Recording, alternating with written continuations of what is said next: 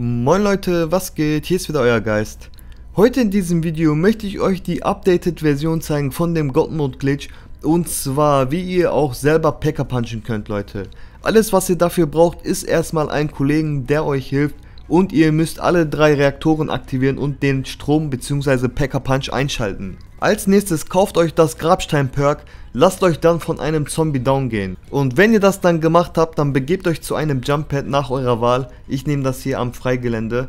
Und was euer Kumpel jetzt machen muss, er wartet bis ihr komplett ausblutet. Sobald der rote Lebensbalken komplett weg ist, aktiviert er dann hier diesen Jump Pad, sodass ihr rüberfliegt. Ich spule das mal ein bisschen vor, weil das dauert etwas.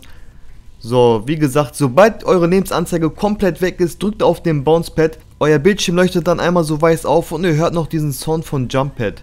So, wenn euer Kumpel jetzt den letzten Zombie tötet, dann kommt ihr wieder ins Spiel rein und ihr seid dann im God Mode. So, und jetzt zeige ich euch aus einem anderen Gameplay, wie ihr dann im God Mode punchen könnt. Und zwar in diesem Gameplay hat der Kollege gerade den God Mode und euer Kollege, der nicht im God Mode ist, der geht zurück ins Dorf, Leute. Und wenn er dann hier ist, dann aktiviert ihr erstmal diesen Hasen Easter Egg. Und zwar geht ihr hier die Treppen hoch.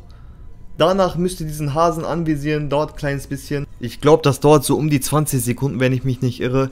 Und dann werdet ihr auch schon teleportiert in diese andere Welt. So, wenn ihr dann hier seid, müsst ihr die drei Teddys finden und abschießen.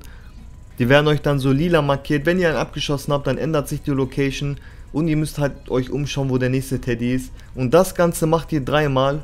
Und nachdem ihr das dreimal gemacht habt, spawnt am Ende so eine Lootkiste und ihr werdet kurze Zeit später wieder zurück teleportiert. Nachdem ihr dann zurück teleportiert seid, kann euer Kumpel im God Mode Glitch den Teleporter benutzen und seine Waffen selber punchen und bleibt auch weiterhin im God Mode.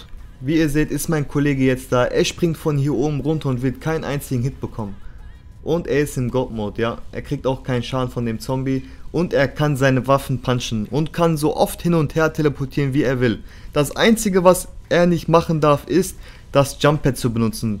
Weil wenn er noch einmal das Jump-Pad benutzt, dann ist er nicht mehr im God-Mode und Ansonsten kann er machen, was er will. Und Leute, es kann immer nur ein Spieler weniger in den God-Mode als die Spieler seid. Wenn ihr drei Spieler seid, können nur zwei Stück rein. Wenn ihr vier seid, können nur drei Stück rein. Weil sobald jemand im God-Mode das Jump-Pad nochmal betätigt, seid ihr nicht mehr im God-Mode. Aber als Alternative könnt ihr in Low Runs äh, für den Spieler, der nicht im God-Mode bleibt, vielleicht noch den Affen werfen.